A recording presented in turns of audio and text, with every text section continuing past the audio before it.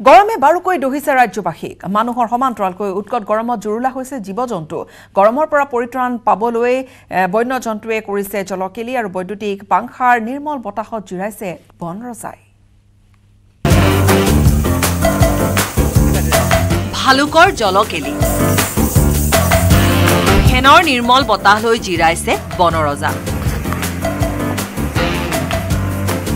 পাৰাস্তম্ভই স্পৰ্শ কৰিছে আঠত্ৰিশ ডিগ্ৰীৰ ঘৰ।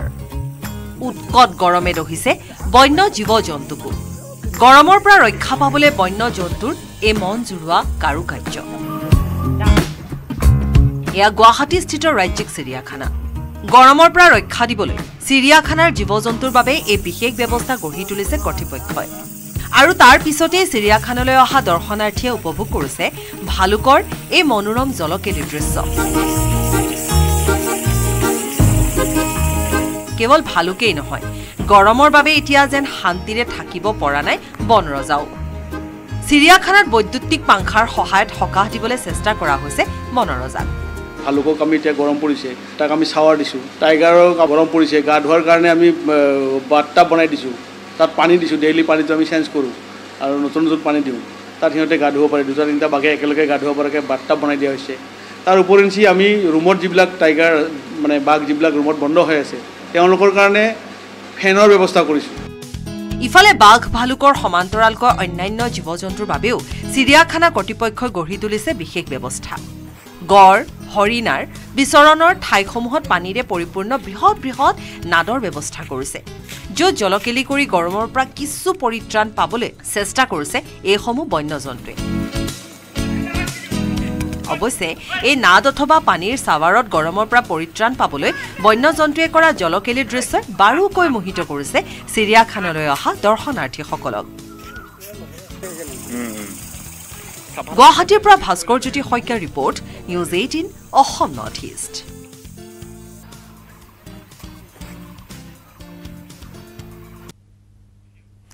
চাওঁতে চাওঁতে এতিয়া দুবছৰ হ'বলৈ গৈ আছে ডক্টৰ হিমন্ত বিশ্ব শৰ্মা নেতৃত্বাধীন অসম চৰকাৰৰ। দুবছৰীয়া বৰ্ষপূৰ্তি তিনিদিনীয়াকৈ উদযাপন কৰিবলৈ ওলাইছে অসম চৰকাৰে। তিনিদিনীয়া কাৰ্যসূচীত উপস্থিত থাকিব দেশৰ গৃহমন্ত্ৰী অমিত শ্বাহ। মুখ্যমন্ত্ৰীয়ে কাৰ্যালয়ে সংগ্ৰহ কৰিছে প্ৰতিজন মন্ত্ৰীৰ পৰা বিভাগীয় খতিয়ান। খানাপাৰাত কোনে পাব পুৰস্কাৰ? কোন সন্মুখীন হ'ব লাগিব তিৰস্কাৰৰ? মন্ত্ৰীৰ খতিয়ান বিচাৰিছে মুখ্যমন্ত্ৰীৰ কাৰ্যালয়ে। দ্বিতীয় বৰ্ষপূৰ্তিত চৰকাৰে দিব পঞ্চাছ হাজাৰ নিযুক্তি। বৰ্ষপূৰ্তিত উপস্থিত থাকিব গৃহমন্ত্ৰী অমিত শ্বাহ। দহ মে'ত দুবছৰীয়া হ'ব ডক্টৰ হিমন্ত বিশ্ব শৰ্মা নেতৃত্বাধীন অসম চৰকাৰ। দুহেজাৰ একৈছত দ্বিতীয়বাৰৰ বাবে দিছপুৰৰ মচনদ দখল কৰি বিজেপিয়ে চৰকাৰ গঠন কৰিছিল অসমত ন মে'ৰ পৰা চৰকাৰে উদযাপন কৰিব দ্বিতীয় বৰ্ষপূৰ্তি। তিনিদিনীয়া কাৰ্যসূচীৰে বৰ্ষপূৰ্তি পাতিব চৰকাৰে। এই বৰ্ষপূৰ্তিৰ পৰিপ্ৰেক্ষিতত মুখ্যমন্ত্ৰীৰ কাৰ্যালয়ে প্ৰতিজন মন্ত্ৰীৰ বিভাগীয় খতিয়ান সংগ্ৰহ কৰিছে। আৰু মাননীয় মুখ্যমন্ত্ৰী মহোদয়ে ইতিমধ্যে প্ৰতিটো বিভাগৰ যিবিলাক এচিভমেণ্ট আছে ছাকচেছফুল এইবিলাক তেওঁ নিজেই এনাউন্স কৰিব মাননীয় মুখ্যমন্ত্ৰী মহোদয়ে। ইতিমধ্যে ডিপাৰ্টমেণ্টৰ পৰা কালেকশ্যন হৈ আছে। আমি ভাবোঁ তিনিদিনীয়া কাৰ্যসূচী হ'ব যোৱাকালি কেবিনেটত আলোচনা হৈছে। কোন বিভাগে কি কাম কৰিলে? কোন মন্ত্ৰী সফল কোন মন্ত্ৰী বিফল? এই সকলোবোৰ চালি জাৰি চাব মুখ্যমন্ত্ৰীয়ে। সফল বিভাগ সফল মন্ত্ৰীয়ে পাব পুৰস্কাৰ। এই লৈ এতিয়া উগুল থুগুল মন মন্ত্ৰী যোগেন মোহনৰ। হাঁহি এক প্ৰকাৰ নুগুচাই হৈছে ৰাজহ বিভাগৰ মন্ত্ৰীগৰাকীৰ মুখৰ পৰা। নহবইনো কিয়? যোগেন মোহনৰ বিভাগটোৱেই চাই আছে মুখ্যমন্ত্ৰীৰ সপোনৰ প্ৰজেক্ট মিছন বসুন্ধৰা। সেই কল্পনাৰ সাগৰত এতিয়া উটি ভাহি মন্ত্ৰী যোগেন মোহনে অপেক্ষা কৰিছে পুৰস্কাৰলৈ। নিশ্চয় তেওঁ এইটো সপোনৰ প্ৰজেক্টটো বসুন্ধৰাটো বসুন্ধৰা ওৱান এণ্ড টু তেখেতৰ সপোনৰ প্ৰজেক্ট তেখেতে এইটো সদায় খিলঞ্জীয়া মানুহক ভূমি অধিকাৰ দিয়া মাটিৰ বেমেজালিখিনি নাইকিয়া কৰাৰ ক্ষেত্ৰত মানে তেওঁ সদায় গুৰুত্ব দি থাকে। আৰু সেইভাগেই তেখেতৰ পৰামৰ্শমতে আমি বিভাগটো আগবাঢ়ি লৈ গৈছোঁ। ৰাইজে ক'ব কি কাম হৈছে নাই হোৱা নহয় জানো? হয়তো প্ৰতিগৰাকী মন্ত্ৰীৰে এতিয়া প্ৰতিযোগিতাৰ দৌৰ আৰম্ভ হৈছে। শেহতীয়াকৈ নিজৰ বিভাগৰ আপডেট দি তৰণি নোহোৱা হৈছে মন্ত্ৰী ৰঞ্জিত দাসৰো। মুখ্যমন্ত্ৰীৰ কাৰ্যালয়ক ধান ক্ৰয়ৰ খতিয়ান দিয়াৰ সমানে সমানে পাঁচ মাহত পাঁচ লাখ মেট্ৰিক টন ধান ক্ৰয়ৰ ধাৰাবাহিক আপডেট সামাজিক মাধ্যমত দিয়েই আছে ৰঞ্জিত দাসে। উল্লেখযোগ্য যে হিমন্ত বিশ্ব শৰ্মা চৰকাৰে উদযাপন কৰিবলৈ লোৱা এই দ্বিতীয় বৰ্ষপূৰ্তিত গৃহমন্ত্ৰী অমিত শ্বাহৰ উপস্থিতিত পঞ্চাছ হাজাৰ নিযুক্তি দিব চৰকাৰে। আৰু শেষৰ দিনা যে পঞ্চাছ হাজাৰ এপইণ্টমেণ্ট হ'ব আমাৰ কেন্দ্ৰীয় গৃহমন্ত্ৰী মাননীয় অমিত শ্বাহ ডাঙৰীয়া আহিব। দহ তাৰিখে এটা কাৰ্যসূচী ন তাৰিখে দহ তাৰিখে এঘাৰ তাৰিখে। এতিয়া কথা হ'ল সফলতা বিফলতাৰ মাপকাঠি চৰকাৰে নিৰ্ণয় কৰিলেও ৰাইজে চৰকাৰখনক বিভাগীয় মন্ত্ৰীক কিমান নম্বৰ দিয়ে সেয়াহে হ'ব লক্ষণীয়।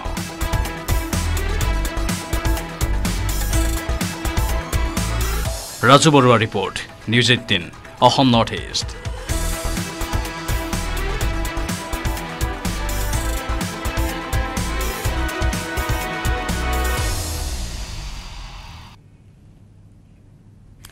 দুৰ্ভাগ্যজনক অ'টত সিঁচৰতি হৈ আছে অসংখ্য মৃতদেহ। যুদ্ধজৰ্জৰ য়েমেনৰ হুটিত ঈদৰ প্ৰাক্ষণত এটা শোকাবহ ঘটনা ঘটি গ'ল। ভিৰৰ মাজত আবদ্ধ হৈ মৃত্যুক সাৱটি ল'লে কণ কণ শিশু মহিলাকে ধৰি আশীগৰাকীকৈ লোকে। দুৰ্ভাগ্যজনক ঈদৰ প্ৰাক্ষণত য়েমেনত শোকাকুল পৰিৱেশ। ভিৰৰ মাজত আবদ্ধ হৈ মৃত্যু সাৱটি ল'লে কণ কণ শিশু মহিলাকে ধৰি আশীজনকৈ লোকে। গুৰুতৰভাৱে আঘাতপ্ৰাপ্ত হ'ল তিনিশ বাইছজনতকৈও অধিক লোক। এই দৃশ্য যুদ্ধজৰ্জৰ য়েমেনৰ হুটিৰ অ'ত ত'ত সিঁচৰতি হৈ পৰি আছে চেণ্ডেল জোতা। য়েমেনত ঈদ উপলক্ষে এক চেৰিটি অনুষ্ঠানৰ আয়োজন কৰা হৈছিল। য'ত বিতৰণ কৰা হৈছিল খাদ্য সামগ্ৰীকে ধৰি বিভিন্ন সামগ্ৰী। এই অনুষ্ঠানত অংশ ল'বলৈ দূৰ দূৰণিৰ পৰা আহিছিল হাজাৰ হাজাৰ লোক। আৰু তাৰ মাজতেই হঠাৎ লাগিল হোৱা দোৱা ব্যাপক জনসমাগম আৰু ভিৰৰ বাবেই এইসকল লোকৰ মাজত আবদ্ধ হৈ থকা বহু লোকৰ উশাহ নিশাহৰ কষ্ট হ'বলৈ ধৰিলে।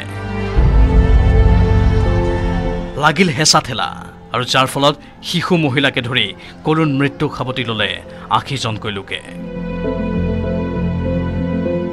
ঈদৰ প্ৰাক্ষণত সংঘটিত এই কৰুণ ঘটনাই সকলোকে শোকাকুল কৰি তুলিছে।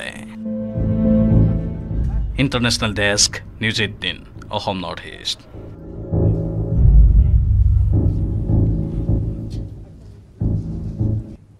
আৰু এইখিনিতে এটা খবৰ জনাম। কেন্দ্ৰীয় প্ৰতিৰক্ষা মন্ত্ৰী ৰাজনাথ সিং হৈছে কভিড পজিটিভ তেওঁ কভিডত আক্ৰান্ত হৈছে আৰু বৰ্তমান হোম আইচলেশ্যনত আছে।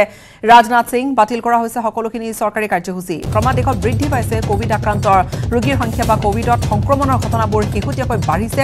আৰু এইবাৰ কভিডত আক্ৰান্ত হৈছে প্ৰতিৰক্ষা মন্ত্ৰী ৰাজনাথ সিং। তেওঁ হোম আইচলেশ্যনত আছে। বিগত চৌব্বিছ ঘণ্টাত দেশত আক্ৰান্ত হোৱা লোকৰ সংখ্যা বাৰ হাজাৰ ছশজন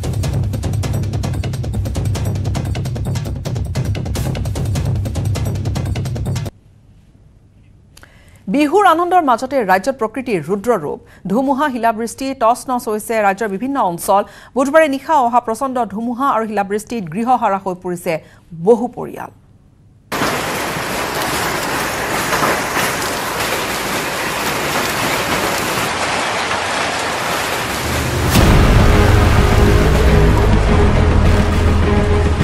প্ৰকৃতিৰ ৰুদ্ৰৰূপ ধুমুহা শিলাবৃষ্টিত টচনচ বহু অঞ্চল। ম্লান পৰিল বিহুৰ আনন্দ বুধবাৰে নিশা অহা প্ৰচণ্ড ধুমুহা আৰু বৰষুণে জোকাৰি গ'ল কলিয়াবৰৰ বিস্তীৰ্ণ অঞ্চল। ধুমুহাৰ ফলত প্ৰকাণ্ড প্ৰকাণ্ড গছ ভাঙি পৰাৰ লগতে ঠায়ে ঠায়ে ছিঙি পৰে বৈদ্যুতিক তাঁৰ। ফলত নিশাৰে পৰা কলিয়াবৰত ব্যাহত হৈ পৰে বিদ্যুৎ যোগান।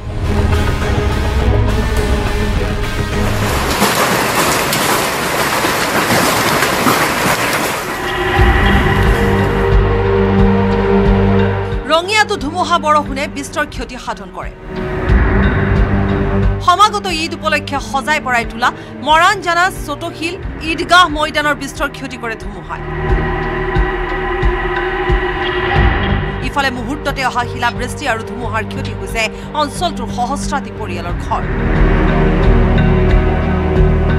শিলাবৃষ্টিৰ ফলত ঘৰৰ টিনপাত নষ্ট হোৱাৰ লগতে গুৰুতৰভাৱে আহত হৈছে বালিসত্ৰৰ থানেশ্বৰ মালি নামৰ এগৰাকী বৃদ্ধ। ৰাতি আমি তাৰাবীৰ নামাজ পঢ়ি থকা অৱস্থাত যি প্ৰাকৃতিক দুৰ্যোগ আহিল এইটো ওপৰৱালাৰে হুকুম বুলিয়ে মানি লৈ শিৰোগতা কৰি আমি ইয়াক মানি লৈছোঁ কিন্তু যথেষ্ট লছ হৈছে আমাৰ। প্ৰায় ষাঠি হাজাৰমান টকা আমাৰ পেণ্ডেলত খৰচ হয়। যথেষ্ট বহুত ডাঙৰ ডাঙৰ শিল জীৱনত সৰুৰ পৰা ডাঙৰ হ'লেও ইমান ডাঙৰ শিল আমি দেখা নাছিলোঁ। প্ৰায়ভাগ মানুহৰে ঘৰত এই শিল পৰি ক্ষতিসাধন হয়। চিৰাঙৰ বিজনীটো ধুমুহাৰ তাণ্ডৱ। নিশা অহা প্ৰচণ্ড ধুমুহা বৰষুণে টচটচ কৰিলে বিজনীৰ ভেটাগাঁও ৰঙালী বিহুৰ মঞ্চ। সম্পূৰ্ণৰূপে মঞ্চ আৰু ৰভা ভাঙি পৰাত পুনৰ মেৰামতিৰ কাম আৰম্ভ কৰিছে উদযাপন সমিতিয়ে যিটো ধুমুহাই ৰূপ ধাৰণ কৰিলে বৰ ভয়ংকৰ হৈ আছে। তে গোটেই মঞ্চখন আমাৰ হালি পৰিছে। এতিয়া আজি গোটেই পূৰ্ণদমে চলাই থকা হৈছে কামসমূহ। নলবাৰীতো ধুমুহা শিলাবৃষ্টিৰ তাণ্ডৱ। নিশা অহা ধুমুহা শিলাবৃষ্টিৰ ফলত জিলাখনৰ কেইবাটাও প্ৰান্তত বহু পৰিয়ালৰ বাসগৃহৰ বিস্তৰ ক্ষতি হয়। জাগাৰাৰ নাপ্তিপাৰাৰ নদীৰ পাৰ চুবুৰীত আঠটাকৈ পৰিয়ালৰ বাসগৃহ সম্পূৰ্ণকৈ উৰুৱাই লৈ যায় ধুমুহাই। এইটো আৰু বৰজয়শিলাৰ বতৰ কি কৰিম আৰু এইটোতো আৰু প্ৰকৃতিৰ লগত বহাগৰ বতৰ কি কৰিব আৰু একো কৰিব নোৱাৰে।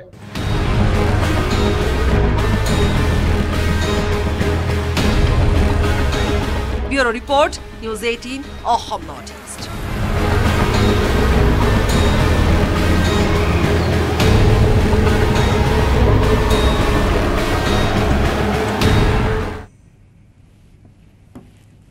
নামত আছে ঠিকেই চিকিৎসালয় কিন্তু নাই চিকিৎসক নাই নাৰ্ছ অথবা কম্পাউণ্ডাৰ। নিত চতুৰ্থ বৰ্গৰ কৰ্মচাৰী এজনে চিকিৎসালয়খন খুলি অপেক্ষা কৰে চিকিৎসক নাৰ্ছলৈ। পিছে কেতিয়াও নাহে তেওঁলোক।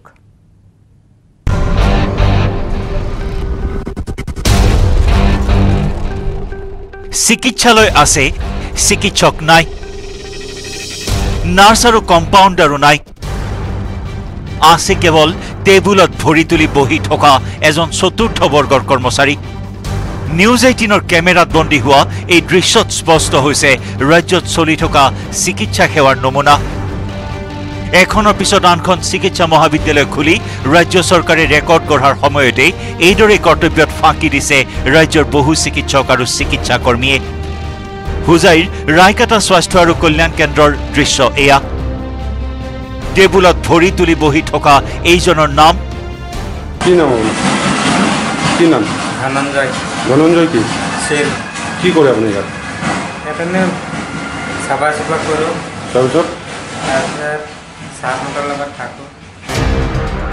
দোকান খোলাৰ দৰে ধনঞ্জয়ে সদায় পুৱা দুৱাৰ খিৰিকী খুলি এইদৰেই অপেক্ষা কৰে ডাক্তৰ নাৰ্ছলৈ। পাছে অনন্তকাললৈ অপেক্ষা কৰাৰ পাছতো নাহে চিকিৎসক কিংবা চিকিৎসাকৰ্মী।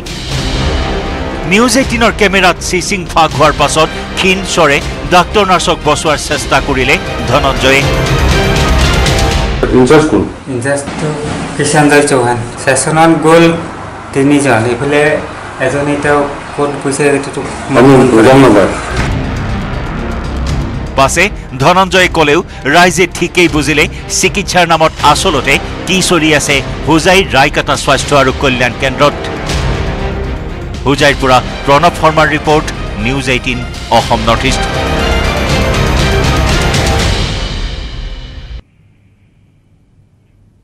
ৰাজ্যজুৰি বিহুৰ আনন্দ উৎসাহৰ এটা পৰিৱেশ বুধবাৰৰ পৰা আৰম্ভ হৈছে ভূমিপুত্ৰ দেউৰীসকলৰ বসন্ত উৎসৱ ইবাকু বিচু লখিমপুৰৰ বাঁহগৰা দেউৰী গাঁৱত ইবাকু বিচুৰ আনন্দ ভৰা এটা পৰিৱেশ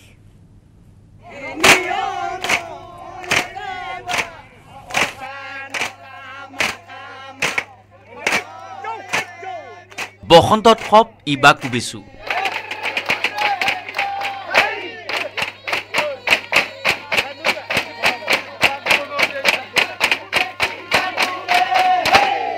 ভূমিপুত্ৰ দেউৰীসকলৰ আছে সুকীয়া বৈশিষ্ট্য।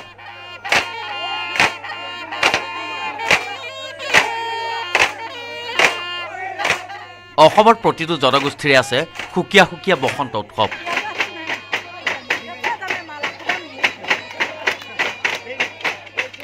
প্ৰতি বছৰৰ দৰে এইবেলিও ভূমিপুত্ৰ দেউৰীসকলে পালন কৰিলে বসন্ত উৎসৱ ইবাকু বিচু। বুধবাৰৰ পৰা আৰম্ভ হৈছে দেউৰীসকলৰ ইবাকু বিচু উৎসৱ।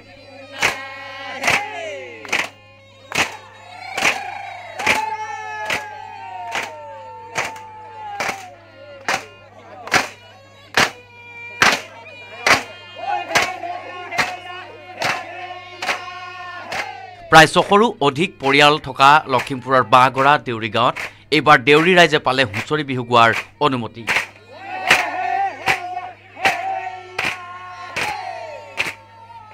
কাৰণ দেউৰীসকলৰ পূৰ্বপুৰুষৰ পৰা চলি অহা এক প্ৰথা অনুসৰি প্ৰতিবছৰে একেখন গাঁৱতে নাপায় হুঁচৰি গোৱাৰ অনুমতি। ধৰক বহুত দিনৰ মূৰত পাইছে। কেনেকুৱা লাগিছে এইবাৰ? ভাল লাগিছে আমি ভাল লাগিছে। বহুত ৰাইজে গোট খাইছে বহুত ভাল লাগিছে। এইটো আগৰ পুৰণা নীতি নিয়মবিলাক পাহৰি গৈছে। আমি আকৌ তাক উদ্ধাৰ কৰিবলৈ বিচাৰিছোঁ। চবৰ ঘৰতে মাৰিব? মাৰিব এঘৰ দিব নোৱাৰিব। এঘৰ এৰিলেই বেমাৰটো বেছি হয় বুলি কয়। এইটো আমি ধৰক আমাৰ ইয়াত মানে গাহৰি কুকুৰা এন তেন এইবিলাক মৰি যায়। তাৰপিছত এইটো কৰিলে সেই বুট প্লেটখিনি ওলাই যায় গাঁৱৰ পৰা। বহুৱা বুলি আৰু ইয়াৰ এসপ্তাহ পিছত দিব। সেইটো মানে বৌচাল ফিলিব কলপাত কলপাতৰ হেৰি লৈ। সেইটো গোটেই গাঁও ঘৰে ঘৰে খুৱাব কখন খুৱাই খুৱাই কুকুৰা পালে গাহৰি পালে কোনো তাত অৰ্ডাৰ মানে নাই মাৰি লৈ যাব সেইটো পৰম্পৰা অটুট ৰাখি লখিমপুৰত দেউৰী সম্প্ৰদায়ৰ লোকসকলে ইবাকু বিচু পালন কৰাৰ সমান্তৰালকৈ হুঁচৰি বিহু মাৰিলে বাঁহগৰা গাঁৱত। পুৰুষসকলে মহিলাৰ পোছাক পিন্ধি ঢোলৰ পৰিৱৰ্তে বাঁহ বা কাঠৰ মাৰিৰে বান্ধি লোৱা বিশেষ বাঁহত মৰিয়াই মৰিয়াই গোৱা হয় এই হুঁচৰি বিহু।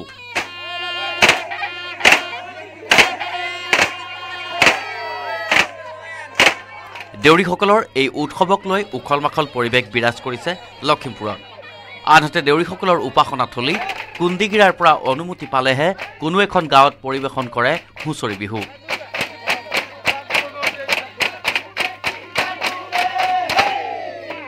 লখিমপুৰৰ পৰা Sanjeev লাহনৰ report news eighteen Assam north east.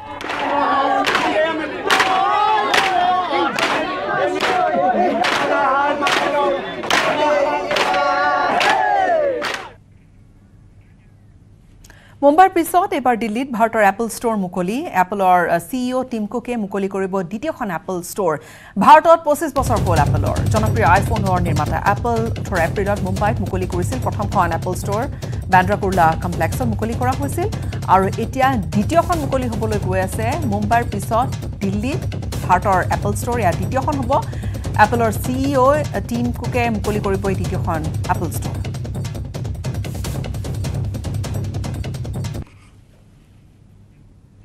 ইয়াৰে সৈতে সময় হ'ল এতিয়াৰ বাতৰিৰ পৰা বিদায় লোৱাৰ। নমস্কাৰ। কেৱল ষ্ট্ৰং নহয় মাইথান ষ্ট্ৰং।